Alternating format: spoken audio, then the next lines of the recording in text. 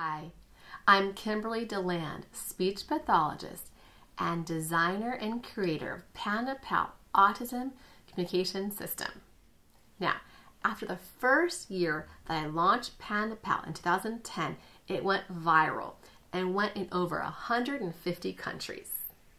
Well, the reason it went viral is because it's such an easy app to use. And it's a template that I designed in English using my own voice and my photos. However, any user can change and modify the entire app to fit the child's primary language. So you can record over the pre recorded voice, you can change the photos, and change the language to meet the language of the user. Okay, let's dive in and I'll show you some unique features about PandaPal. This is PandaPal. The home page comes with 12 pre programmed categories. Once the user touches a category, a new page opens with preloaded icons. The user simply touches icons to create a sentence. I want to color.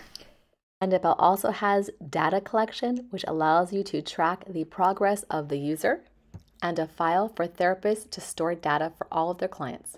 Fine motor challenges can cause the user to accidentally activate multiple icons at once, resulting in ineffective communication. PandaPal has solved this problem by designing a unique feature called Touch and Hold.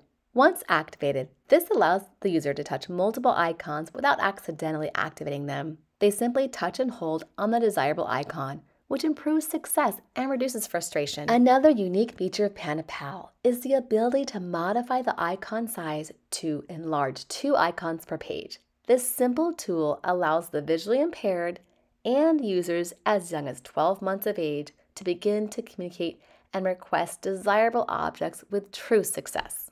For the advanced user, you can load 18 icons on per page. PandaPal also has a first and then feature, which is a great tool to teach kids the order of events. The user is able to choose icons from the library or take new photos. It also has a schedule board, which is completely adjustable. This feature has been proven to improve compliance and reduce frustration.